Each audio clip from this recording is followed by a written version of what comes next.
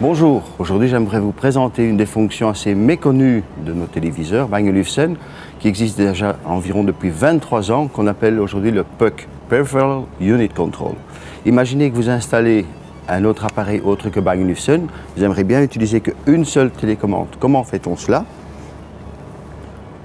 Je vais dans le menu, je choisis la source, je fais Setup, il me demande, voulez-vous contrôler ceci avec votre télécommande Bang Olufsen Bien sûr. OK. Ici, je vais chercher la marque sur Internet. OK. Voilà. Une fois qu'il a trouvé les données, il est en train de les transférer. Vous allez voir apparaître toutes les marques. Voilà. Ici, celle qui m'intéresse, c'est Apple TV. Je clique sur Apple. Il me demande quelle génération, deuxième génération ou troisième génération. Je dis OK, celle-ci. Et puis j'appuie sur le bouton vert tout simplement pour confirmer. Une fois ceci, je, confirme que je veux bien Apple TV.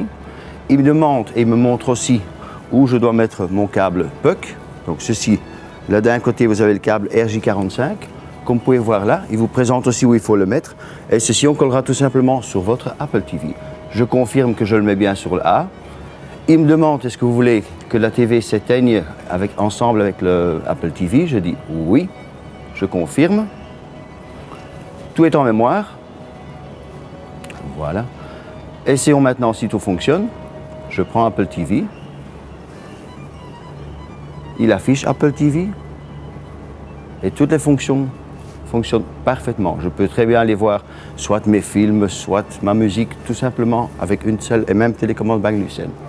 Donc ceci était la démonstration comment ajouter un produit étranger à la marque Bang sur un produit Bang.